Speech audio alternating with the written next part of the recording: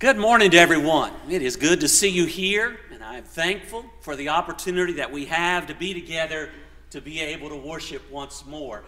You know, we kind of have a habit when we come together on Sunday mornings, whoever gets up here to do the announcements or to address the congregation as far as leading and singing or whatever it may be, we, we kind of start off with good morning.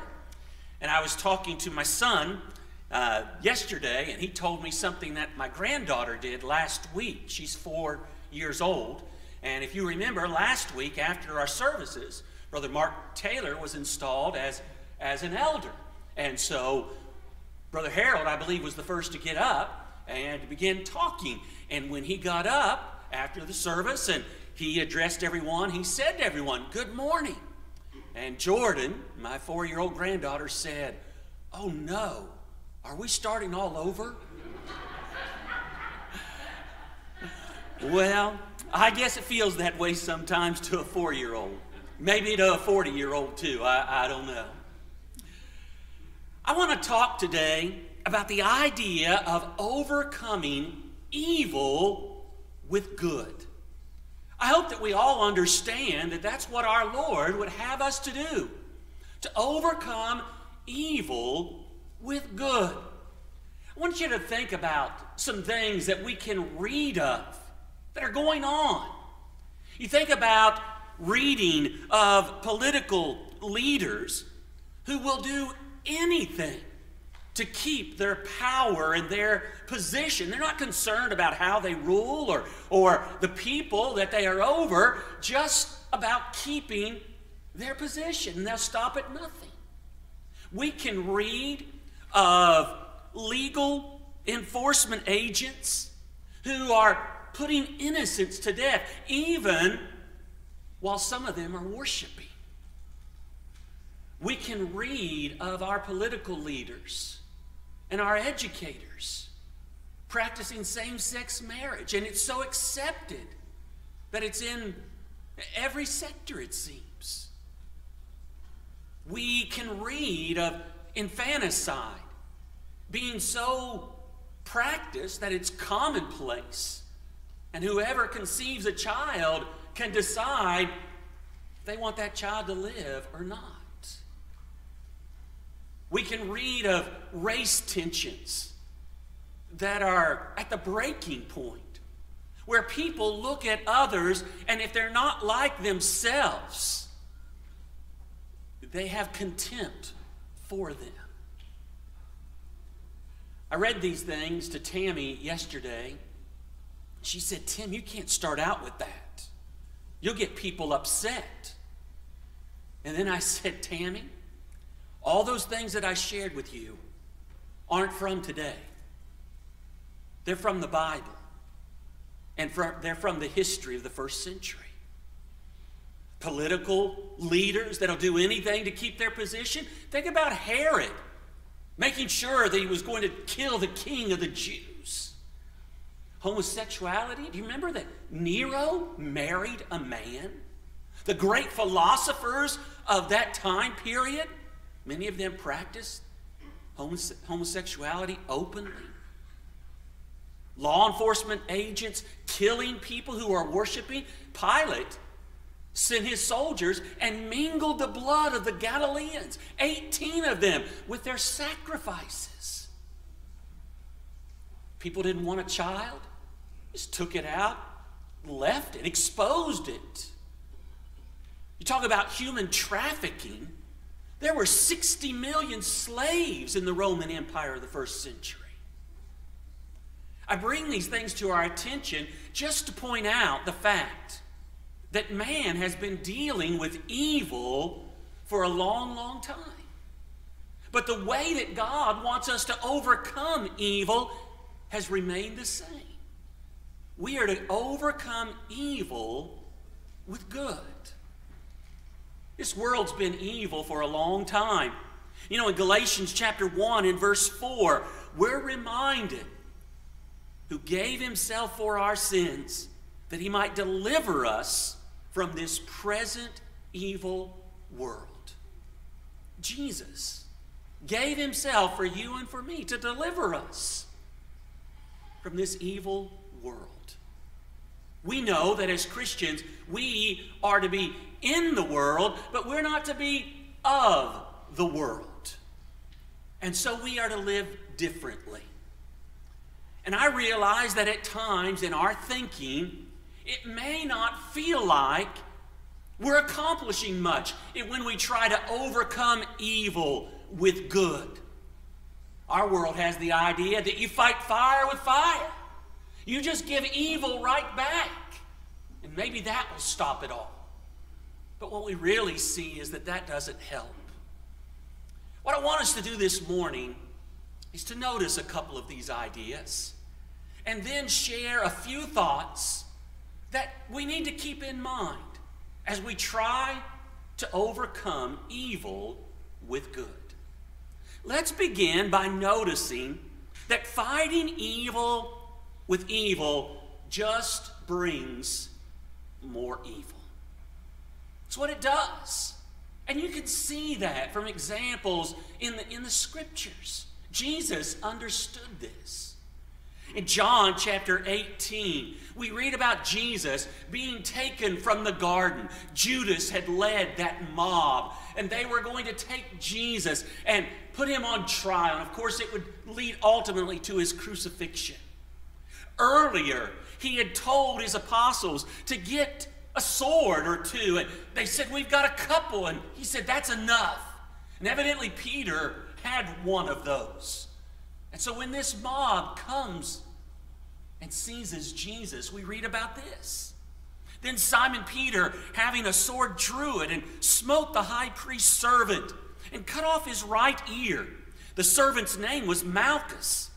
Then Jesus said unto Peter, Put up thy sword into the sheath. The cup which my Father hath given me, shall I not drink it? In Matthew's account, he explained to Peter that all that take up the sword will perish by the sword.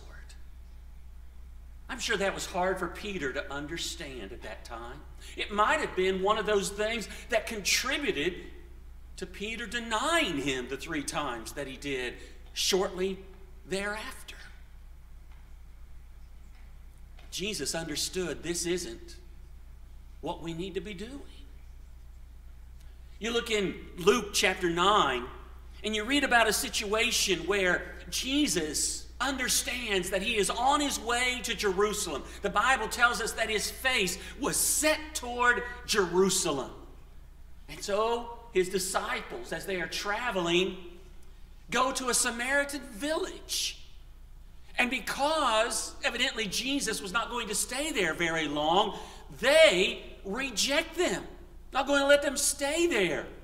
And James and John, those sons of thunder, they say to Jesus, Would you like for us to call down fire from heaven to destroy them, like, like Elijah did? You can read about that in the Old Testament. Jesus responds in Luke 9, verse 55 by rebuking them and saying, You know not of what manner of spirit you're of. For the Son of Man is not come to destroy men's lives, but to save them. Jesus didn't come to destroy, but to save. He understood that to try to get rid of evil by practicing that which is evil doesn't get rid of the evil. It makes it worse. It turns you into what you were fighting against. Dr. Martin Luther King Jr. is quoted as saying this about this idea The ultimate weakness of violence is that it is a descending spiral begetting the very thing it seeks to destroy. Instead of diminishing evil, it multiplies it. Through violence, you may murder the hater, but you do not murder hate. In fact, violence merely increases hate. Returning violence for violence multiplies violence, adding deeper darkness to a night already devoid of stars. Darkness cannot drive out darkness. Only light can do that. Hate cannot drive out hate. Only love can do that. Folks, where do you suppose he got an idea like that? It's from the scriptures. It's from our Lord as he teaches us to overcome evil with good. When we when we return evil for evil, it will cause us to be overcome with evil ourselves. I know that's a hard thing for us to, to deal with at times. Because our world teaches us that you have a right. You have a right to retaliate. What's the excuse that every person who gets in a fight gives for why they were fighting? He hit me first. She pushed me first. They said it first. And that gives us the right. That's the way we feel. And that's hard to overcome. I, I don't care who you are, that, that's hard to overcome. And yet, that's what we must strive to do. Because if we return evil for evil, we're just going to be overcome by it ourselves. We are to overcome evil with good. Brother Paul read for us just a moment ago, there in Romans chapter 12, verses 19 through 21 where the Apostle Paul writes these things. And really, they're not new ideas, they're quotations from the Old Testament. Verse 19 is taken from Deuteronomy 32 and verse 35. Verse 20 is taken from Proverbs 25, verses 21 and 22. And so he would say on this occasion, he writes for us, Dearly beloved, avenge not yourselves but rather give place unto wrath. For it is written, Vengeance is mine, I will repay, saith the Lord. Therefore, if thine enemy hunger, feed him. If he thirst, give him drink. For in so doing, thou shalt heap coals of fire on his head. Be not overcome of evil, but overcome evil with good. That's the idea. That's what we are to practice. Here is how we can have an influence for good upon our world. Here's how we deal with the evil that we face. We seek to overcome it with good. Aren't you glad that Jesus has shown us how to do that? He is the perfect example of living that godly life. And when it comes to this idea, Jesus shows us how. I know that there have been a lot of people who have gone through a lot of difficult things, but I can't think of anyone who had to deal with more than our Lord. And yet he shows us how to overcome evil that was cast his way. One thing that we read about him is found in Acts chapter 10 and verse 38. Peter is preaching to Cornelius and his household. And as he speaks to them of Jesus Christ, he tells them that he was a man who went about doing good. That's what Jesus did. And I realized that much of that had to do with the miracles that he performed, the good, the kindness that he showed unto all that were brought unto him. We don't have that ability today. But the abilities that we have, we need to use to go about everywhere doing good. That needs to be our goal. No matter what others do to us. No matter what evil we face, what, no matter what wrongs we have to go through and endure, we are going to do good. That's what we're in control of, what we do. In 1 Peter chapter 2 and verses 21 to 24, you have Peter writing these words about our Lord. For even hereunto were you called, because Christ also suffered for us, leaving us an example that you should follow his steps, who did no sin, neither was guile found in his mouth. Now, watch it, verse 23. Who, when he was reviled, reviled not again. When he suffered, he threatened not, but committed himself to him that judgeth righteously, who his own self bare our sins in his own body on the tree, that we, being dead to sins, should live under righteousness, by whose stripes ye were healed. We focus on verse 24 quite often, and rightly so, because it speaks to us of the price that Jesus paid so that we could have life. But look at verse 23 again. Remember, Peter is talking about Jesus as our example, that we would follow after him, do as he has done. He was reviled. People spoke evil of him, they insulted him. Just think for a moment about what was said to our Lord while he was upon the cross, dying for the very people who were insulting him. And yet he doesn't revile again. You think about how he responded to those very men who crucified. Father, forgive them, for they know not what they do. Do you suppose those soldiers had ever heard something like that? I imagine they had been called every name in the book. Every curse in the world had been hurled upon them for what they did to those people who were crucified. And here's a man who says, Forgive them. They don't know what they're doing. Folks, Jesus shows us how to deal with others and how to overcome evil. Oh, the world might look at that and say, that, You can't be like that. That's, you're so lame. That's so weak. You can't do that. You've got to stand up. You have a right. Jesus overcame with good.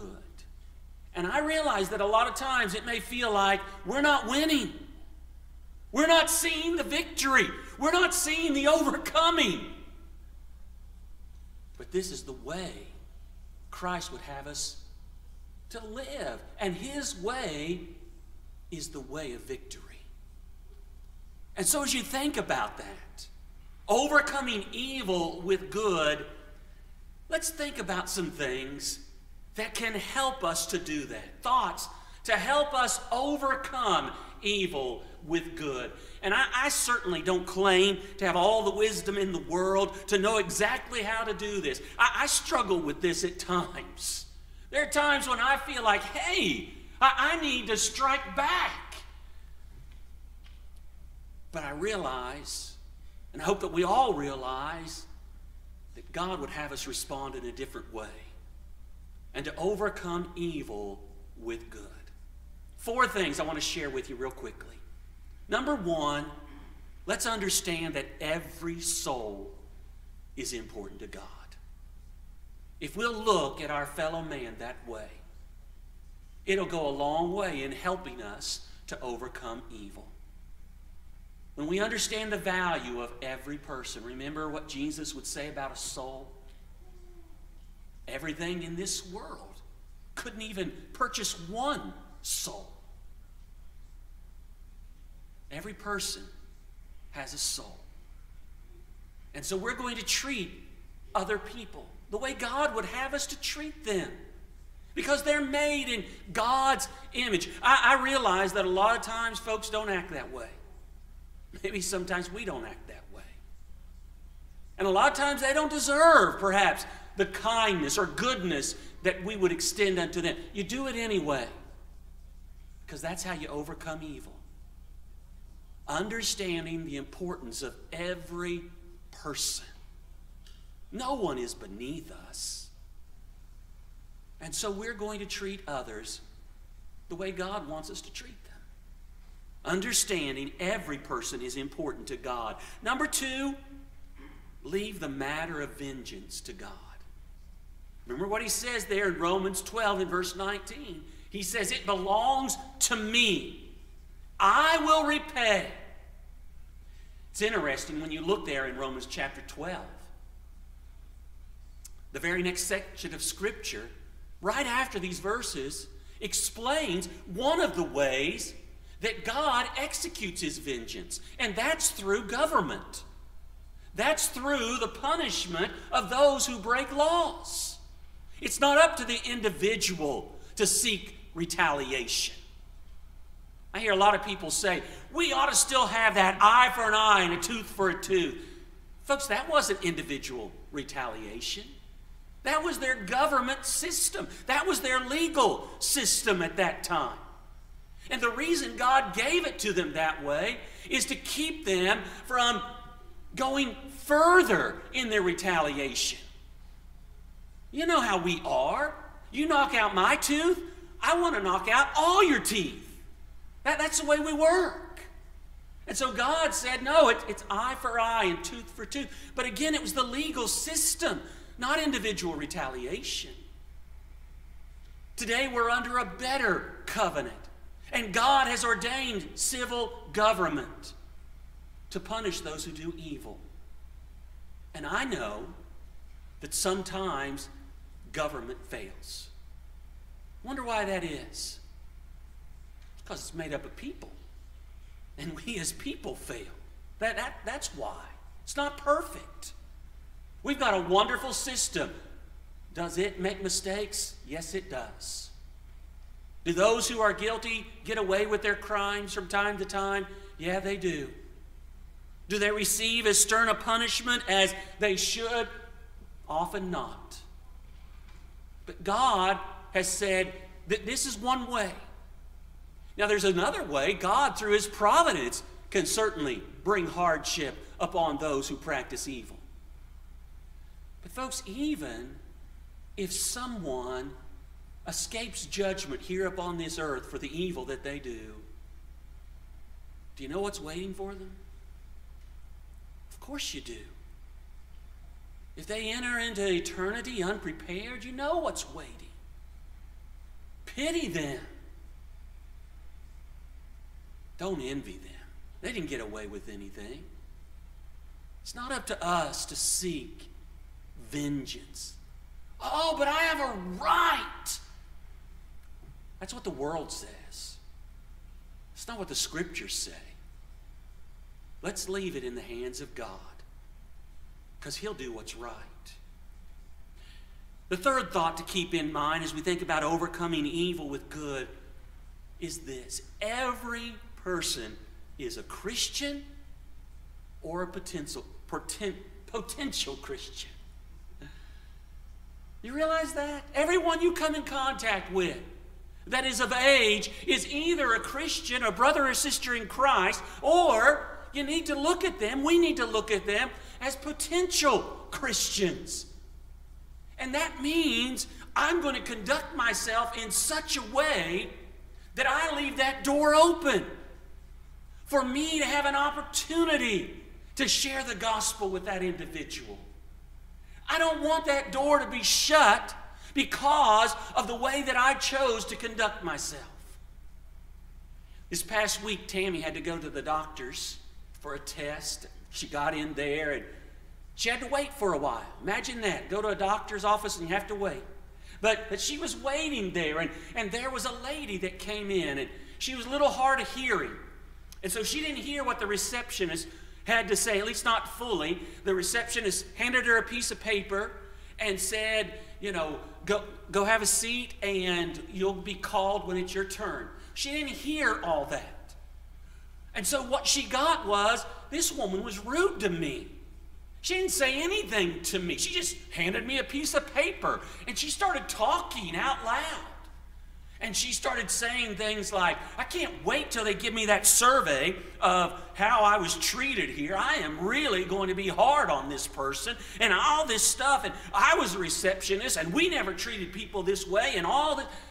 Her husband came in and he went up to the receptionist and explained that she was hard of hearing and, and wondered, you know, what was going on. And so he got the deal. She was okay. She went over and picked up a book a magazine on prayer. And she said, out loud, this is what our world needs. It needs prayer, it needs God. That's what it needs. And you suppose that receptionist would be willing to listen to her? Whatever she had to say, after she'd said all those other things. You see, folks, the way that we treat people matters. And it doesn't matter if someone is mistreating us, we still want to practice that which is good so that we leave those doors open, those opportunities to share the gospel because that person is a potential Christian.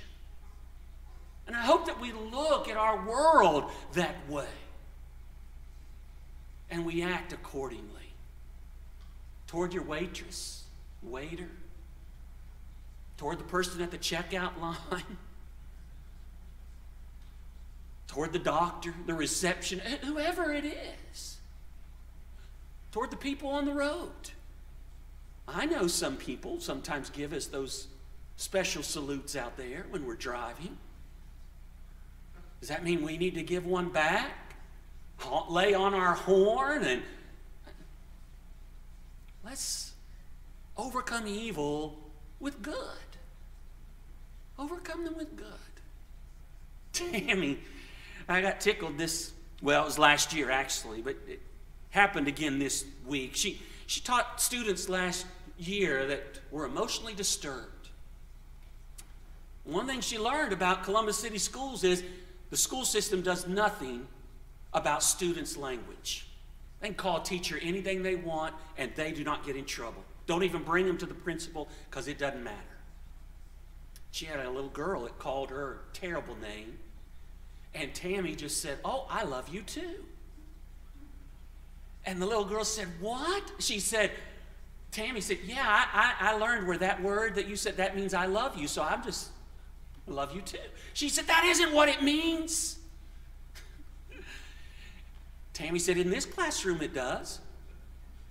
And so every time she, she would just say, I love you too. That was last year. You realize this year, just this week, that little girl started texting Tammy again and asked if she could call and talk to Mrs. Hatfield. Now, I don't know where that will go. She's only a third grader or fourth grader or something like that. But, folks, you overcome evil with good. And we want to keep planting a seed that hopefully will grow in the hearts of people to lead them to Christ. Every person we come in contact with is either a Christian, brother or sister in Christ, or we see them as a potential Christian. And then here's this last one we make a difference one person at a time. We can look at our situation, our world, and we might think, and it's easy to think this way I can't make any difference. What difference are my efforts going to make in this world where we see so much evil and wickedness? Just one person. But, folks, remember, we're not just one. We're the church here at Alkire Road. Think of the impact in our community that we together can have when we together seek to overcome evil with good. And we do it just one person at a time. In Acts chapter 8, you read about Paul and Silas going into Philippi, and you, you know the account, and that eventually they are beaten before all the, the, the, leaders there, the magistrates, they have stripes laid upon them. They're put in the stocks. They're put in the prison. And at midnight, they're praying and singing. And then there's that earthquake. And all the gates are open. All the bands are loose. The jailer had been sleeping and he woke up and he sees this and he assumes that prisoners have escaped, and so he's going to take his own life. And Paul and Silas say, Stop. We're all here.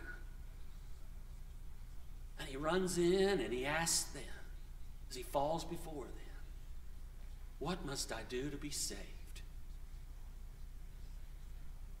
Paul and Silas teach him and his family the gospel of Christ. And that same hour, they are all baptized into Christ for the remission of their sins. I know the Bible doesn't tell us, but I believe there's a strong likelihood that that jailer might have been the very one that laid those stripes upon Paul and Silas. It's part of their job. Later that night, he would be washing those stripes, making a difference. Just one person at a time by overcoming evil with good. That's the way God would have us to do it. I know it's not going to be easy, it may not feel natural. We have our rights, we like to think. But this is the way God would have us to do it and it's the way that will work. September 6th of 2018, a man by the name of Botham Jean was sitting in his apartment in Dallas, Texas. He lived on the fifth floor. On the sixth floor, there was a police officer that lived there. Her name was Amber Guyger.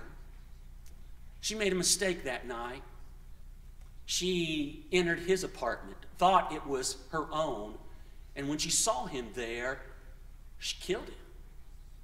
She shot him. She was put on trial, and she was convicted, sentenced to 10 years in prison. But the victim's family was there. And at that trial, they were able to speak they were able to give their victim impact statement.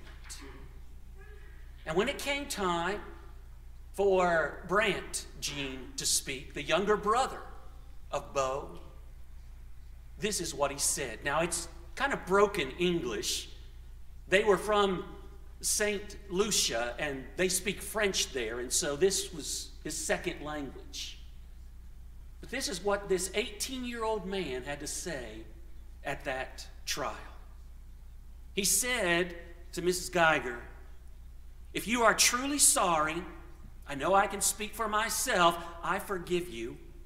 And I know if you go to God and ask Him, He will forgive you. And I don't think anyone can say it. Again, I'm, I'm speaking for myself and not on behalf of my family, but I love you just like I, like anyone else. And I'm not going to say, I hope you rot and die just like my brother did. But I personally want the best for you. And I wasn't going to ever say this in front of my family or anyone, but I don't even want you to go to jail. I want the best for you because I know that's exactly what Botham would want you to do. And the best would be give your life to Christ. I'm not going to say anything else. I think that giving your life to Christ would be the best thing that Botham would want you to do. Botham was a member of the church. And this young man, after making this statement, asked the judge if it would be okay if he would give Miss Guyger a hug. It was permitted, and after they embraced, he gave her a Bible. That's incredible overcoming evil with good. Can it be done? Absolutely. Is it going to be easy? Uh uh No, it's going to take more strength than retaliation ever would. And yet, it's the way that we as Christians are to overcome evil that's in our world. Jesus is the one who shows us how to do that mentioned it earlier. How he spoke those words Father, forgive them, for they know not what they do. Jesus went to that cross for you and for me to deliver us from this present evil world. My friend, will you let him deliver you? To have that deliverance, you have to obey his will. Final step is that of baptism into Christ for the remission of your sins. If you haven't taken that step yet, we want to help you. And if you're one who has obeyed, but you've fallen away and you need to come back, we want to pray with you and for you. I hope you'll think about these things. And if you need to respond today, you'll do that as together we stand as we sing.